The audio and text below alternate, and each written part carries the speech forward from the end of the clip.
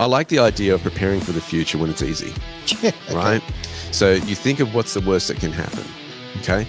My business did very well because it was online during Sure. COVID. Okay. It was business as usual, and we had our biggest profits ever There during. COVID. Okay. Okay. We prepared for Show the off. future. All No. I'm not showing I'm off here, but what I'm saying here, guys, is like, think of you have to kind of get into Boy Scout mode here. Sure. What's the worst thing could happen? So let, let's say if cash went right, what would you default to?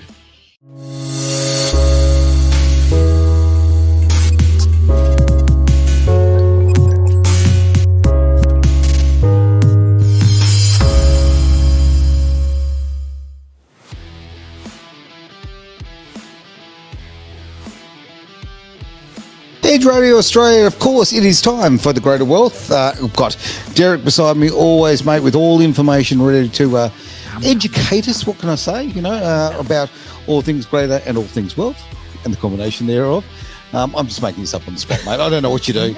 Um, I don't know. You, you bring happiness Most in my life. people don't know what I do. No, no, no. Can you just describe it to us in Isn't a that- few words? the way you want it. You want to be anonymously awesome. Well, it's something you're not cool. achieving now. Cool. No, not this man, anyway. You're you're achieving it. You're certainly not. Over You there, smell that? Travis. You smell that? That's the smell of jealousy. Oh, there's so much jealousy to be smelled at the moment. Let's face it. All right. Great to have uh, everybody here. Great to have another show uh, every week. You bring a lot of information, mate, and where we, we basically talk about the combination of how you know, look, politics and finance, how they interact, um, and how they change our lives, and the important things that we should be aware of. You so, know, what the should, greatest thing I love about Derek's show. what's that, mate? It's all the weird, random, wonderful things that we learn from him. We do every single week. I know. I don't think I've ever had a show where it's not something that's like, oh shit, I didn't know that. All right, well, let's, oh, let's jump into like it. an idiot now. You, So yeah, let's jump into it, mate. You've got the computer. You're the, you're officially in charge. we I- need a big Edge radio sticker for the back so we can hide the apple. Let's do that. I've got one. I'll, I'll make that happen. Is it up there?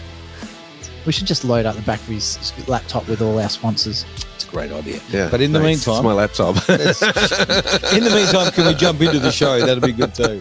All right. it's my laptop. I can show what I want to. Oh, Um, look, is going downhill. 20 uh, i had on the weekend uh, think about where to get cash Oh, oh, what, a struggle. what, what atm is open these days which bank is closed what and I, I can share. I've got a really And- personal one on this one. I'll share this in a moment. But you go first. Go on. Whoops. i'm starting to get some numbers on what's actually going on All right. all right so there are 2,100 bank branches have closed in Australia since 2017, especially in regional areas. Wow. So APRA did a six-year analysis, and yeah, it's 2,100. And uh, Mr. Trevorrow, uh, Trevero, I should say, said these numbers mark 39% reduction in the number of branches in major cities and metropolitan areas. Regional areas suffered a 34% loss. And Malcolm Roberts of the One Nation uh, Party said that that's it. So he summarized so 30 to 40% in the last six years, he clarifies, to which Mr. Trevorrow said that the number of ATMs across the country was also reducing. Mm. Now, if you can't find an ATM, here's why. Metropolitan areas are suffering a 60% decline. They're just nowhere. And, and, and the regional area is 50%. So There you go. it's it's huge. Now, on top of this, Mm. it gets even better. Okay. Since Better that or worse? information worse, this, since that information has been released, Bankwest, which serves 1.1 million customers across Australia, Mm. uh, just announced the other week that they're going to close another three branches in WA. Um, the only state where it has still has a physical presence, so it's just taken all its other ones off. Off the. Um, they're closing them in Armadale, Perth. Uh, they close in January 18. Maddington's going and Kununurra on the WA Northern Territory border. And then one of the majors, National, uh, of course, Bankwest is owned by CBA, Commonwealth Mhm, Bank. mhm. National Australia Bank has now said that it's going to close a whole bunch of them this month. About 36 branches across Victoria, Queensland, West Australia, ACT, and New South Wales. Oh, you know what I call CBA? What's that? Can't be asked. Yeah, like they just okay. cannot be asked giving any form of customer service whatsoever. Look, in the last few months, I diced um, ANZ because I, the, the service was just appalling. I, I got rid of them because of the fact that they, the service was so poor. All right. Um, and the fees certainly didn't seem to change. They were exactly the same as when I did get service, and now I get none whatsoever. Now I'm currently finding that the NAB is is is exactly the same. They're reducing my services, but my fees keep going up. Mm. What a surprise! Inflation. Oh, They're inflation, inflating their inflation. Well, here's the funny thing. So if you look at why are the banks doing this, Hmm. What they say and what they're doing, obviously I, I'm going, yeah, right. But they're saying with more customers choosing to bank online over the phone or no by choice. video, and because fewer customers are using branches to do their banking, we've made the difficult decision to close some of our branches. Bullshit. That's on their website. This is when they recorded crash pro- uh, cash profits. This is NAB at least Mm. of 7.7 billion, up 8.8 percent. And APRA, the Australian Prudential Regulatory Authority, last year shows 400 bank branches were closed across the country in the last 12 months to 30th of June. What what this is saying to me is it's totally looking at what it wants to look at. Of course. It's not considering the other reasons you have to go into the bank, right? Mhm. One of the big ones is that the government's jumping up and down with the know your client rules and pointing the shotgun at the Ooh, at the banks to say you better focus on the customers. Yep. Sometimes that is difficult to do over the phone or Yep. online. And typically what's happening in the banking industry is you, you do anything online, you have to get certified copies of any documentation, especially when you're dealing with companies, trusts, self-managed super fund type documentation. Mhm. It can get a lot of paperwork, right? Absolutely. It's a lot easier to take the original documents down to your local branch and sit in front of somebody and say, take a copy of what you need. Yep. This is what's up to date. This is what my accountant sent me or my lawyer has sent me.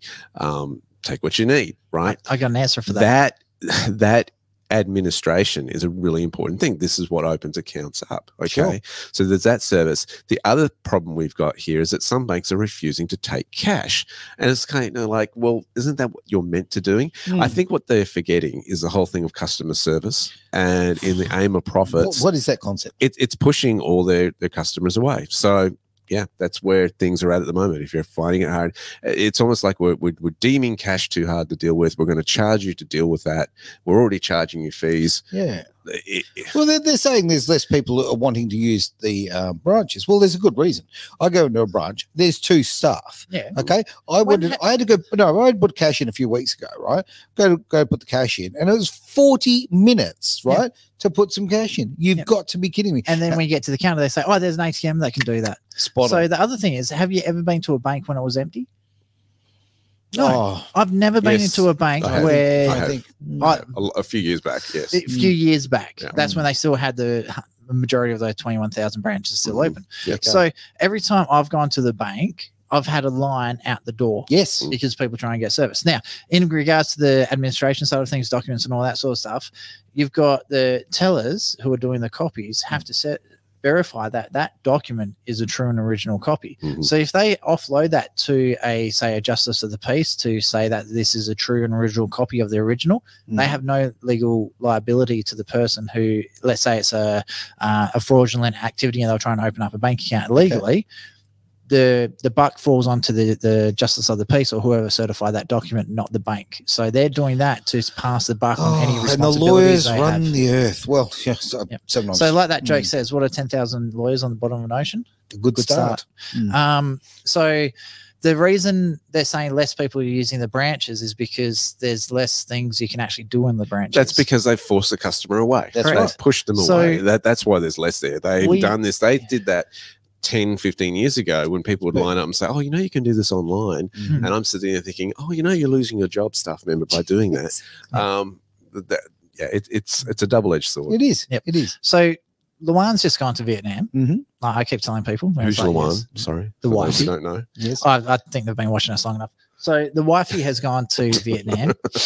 Um, so in Vietnam, they don't like money transfers. Every it's a cash economy. Okay. So we tried to take out a couple of thousand dollars for her trip to make sure she's got money for um, taxis, flights, food, bribes. I mean, um, government interventions on things. Um, so she, you, you never travel to Vietnam without cash, like Okay. a, a decent amount of cash. So we, first of all, we live in near the Armadale area. We had to go all the way up to Maddington before we could find a branch that would actually uh, allow cash out. Sorry, not a branch, an ATM that would An allow cash in. Gee. Not even a branch. That's Not even Wow. for those who don't know, that's what, 25 minute drive? uh, in traffic about half hour. Yeah. So it, it's just stupid. It, it's getting to the point where it's getting harder and harder and harder just to even see cash these days. So oh yeah, and like And people obviously- don't know what to do with it. yeah, Right, And then you yeah. lose the internet because Australia's got shit house internet. And then you can't buy anything. Or if you work in a petrol station, you're trying to do like fuel up as you work nights, and then all of a sudden the bank goes, "Oh no, we're down for general maintenance for the next three hours." What are you going to do when you've got? I can tell you because it happened to me. I had to literally sleep in I my used car. to work in a petrol station, and Right. it happened all the time. Wow. There's a thing called an IOU, so you can actually fill out an IOU, pay extra money, and come back another day Or- and make the payment. Or you do what I'm finding. I'm trying to transfer funds from Bankwest to Yep. CBA, Yeah, which are all the same bank, that's right. and then I need to move it back to another account with Bankwest, Mhm. Right? And it was fine getting it to CBA, but it's taken how many days to get it out of Oh. CBA back to Bankwest again? And it's they've got to oh, but we want to you to do this online. It's Mm. like no, No, no. uh, and this is the thing we have to resist against this sort of it's absolute tyranny. Let's face it. It's control again of our assets and our and our finances.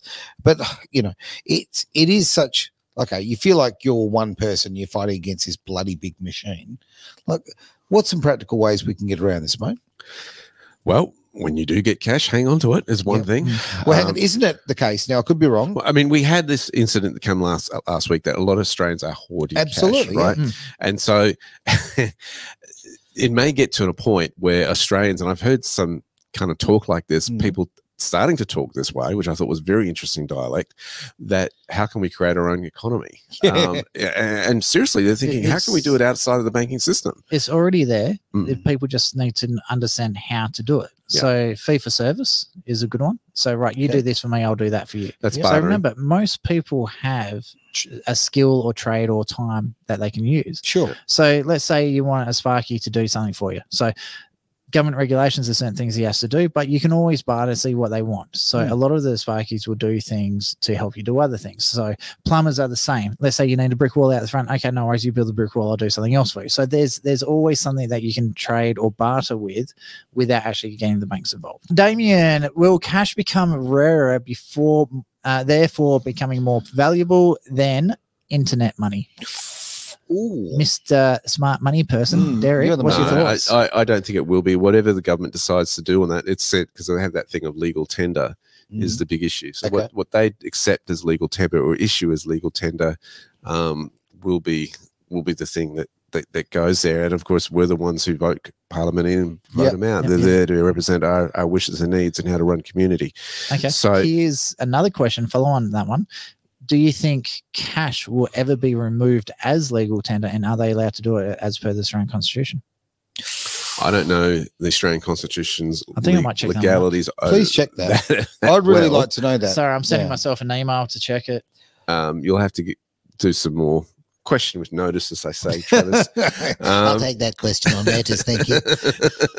Um, how many of us have been Uh, sitting there watching Senate inquiries? Jeez, we need lives, clearly.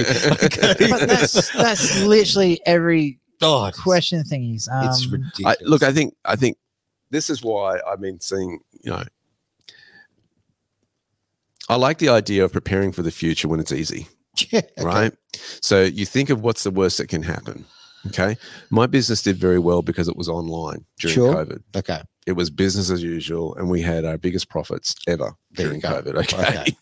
okay, we prepared for Show the off. future. All No, right. I'm not showing I'm off here, but you. what I'm saying here, guys, is like think of you have to kind of get into Boy Scout mode here and think, what's the worst thing could happen. So let, let's say if cash went right, what would you default to?